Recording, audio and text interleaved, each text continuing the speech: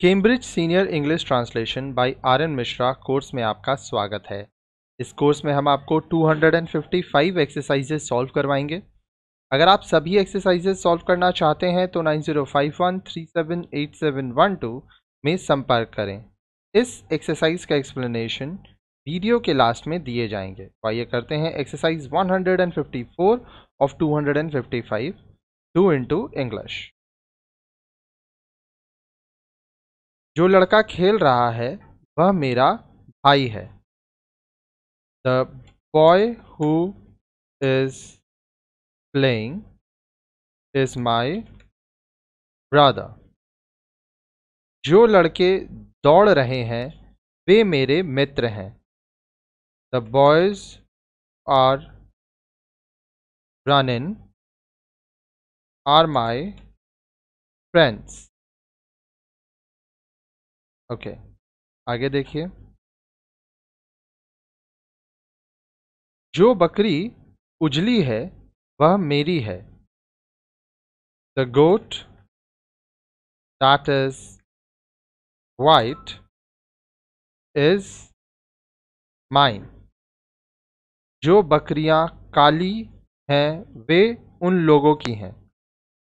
The goats that are black are theirs. जो पुस्तक नई है, वह तुम्हारी है। The book which is new is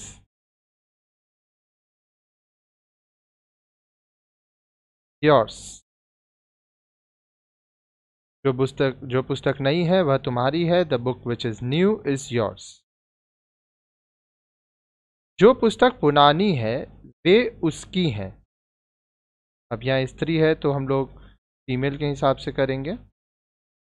The books which are old are hers ठीक है?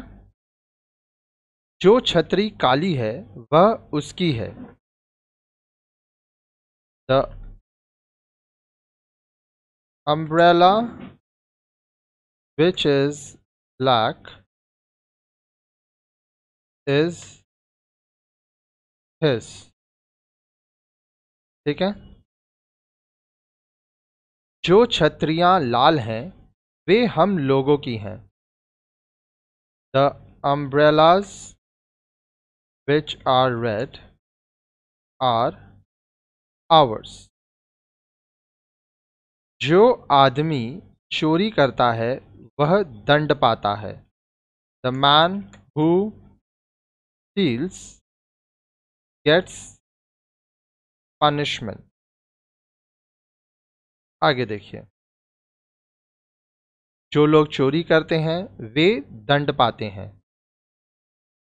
The people who steal get punishment ठीक है? जो लड़का मैदान में खेल रहा है, वह मेरा मित्र है।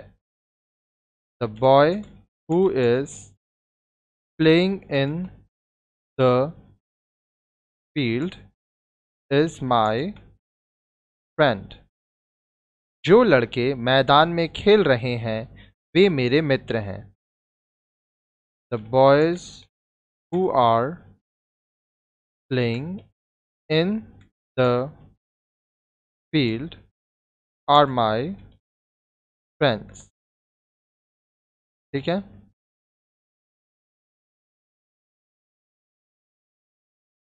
जो मकान पुराना था, वह हम लोगों का था।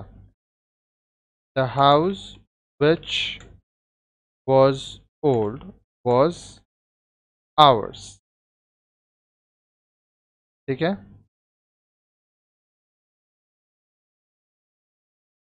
जो आदमी कल आया था, वह आज नहीं आया है। The man who came yesterday has not come today the man who came yesterday hasn't come today.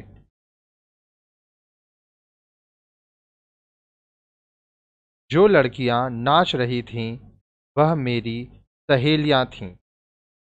The girls who were dancing were my friends जो झूठ बोलता है, वह झूठा कहलाता है। One who tells a lie is called a liar ठीक है आगे देखिए जो कठोर परिश्रम करते हैं वे सफल होते हैं those who toil hard succeed those who toil hard become successful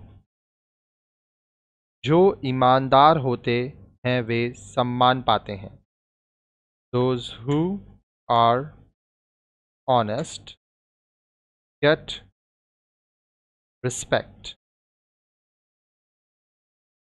जो कुत्ता भौंकता है, वह कदाचित ही काटता है।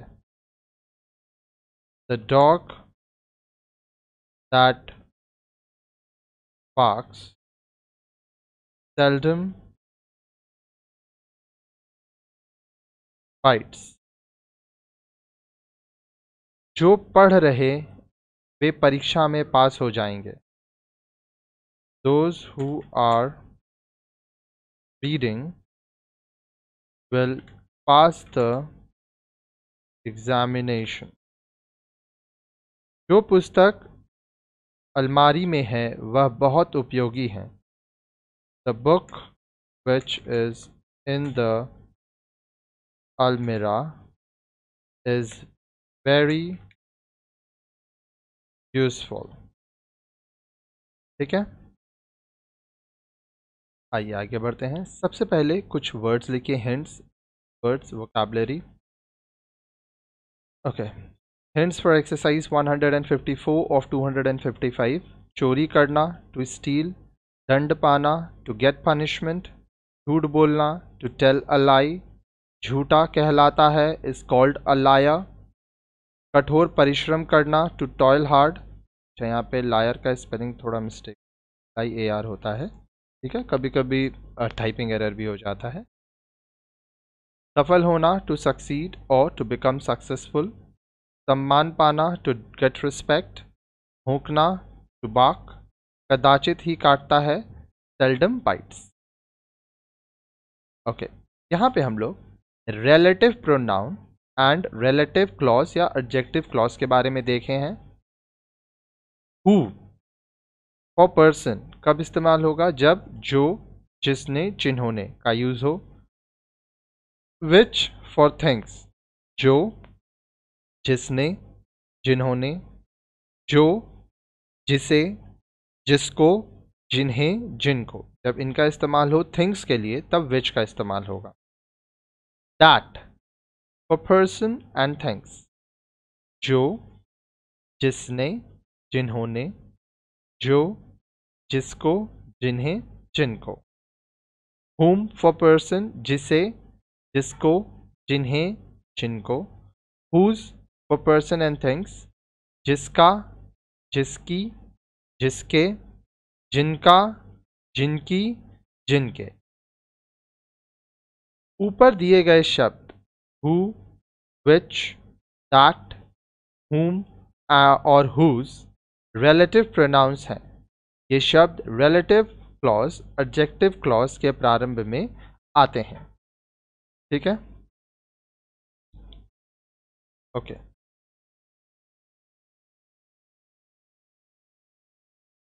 relative pronouns in relative relative clause और एडजेक्टिव क्लॉज नीचे दिए गए वाक्यों को ध्यान से पढ़। जो लड़की गा रही है, वह मेरी बहन है। The girl who is singing is my sister जो लड़कियाँ नाच रही हैं, वे हमारी सहेलियाँ हैं। The girls who are dancing are our friends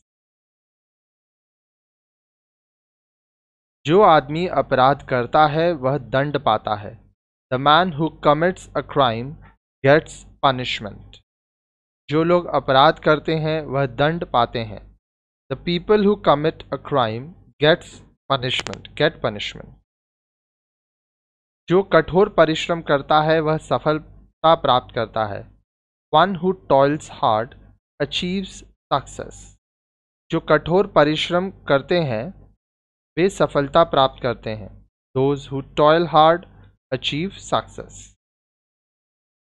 ऊपर के अंग्रेज़ी वाक्यों में who is singing who are dancing who commits a crime इत्यादि रिलेटिव एडजेक्टिव क्लॉज इन सभी क्लॉज का प्रारंभ रिलेटिव प्रोनाउन हु से होता है, जो इनका सब्जेक्ट है और जिसका व्यवहार व्यक्तियों पर्सन्स के लिए हुआ है। इसके बदले टाट भी लिखा जा सकता है, परंतु हु का व्यवहार ज़्यादा आम है। नोट मात्र जो रहने पर वन या दोस्त का व्यवहार होता है। यह ध्यान देना आवश्यक है कि जो का व्यवहार एक वचन सिंगुलर के रूप में या बहुवचन प्लूरल के रूप में। वह या वे की अंग्रेज़ी ही शी या दे नहीं लिखी जाती है। वस्तुओं थिंग्स के लिए रिलेटिव एडजेक्टिव क्लॉज में विच या दैट का व्यवहार सब्जेक्ट के रूप में किया जाता है। जैसे जो पुस्तक नई है, वह मेरी है। The book which is new is mine the book that is new is mine जो पुस्तकें पुरानी हैं, वे आपकी हैं। The books which are old are yours the books that are old are yours note वह या वे की अंग्रेज़ी दैट इट दे नहीं लिखी जाती है। ठीक है?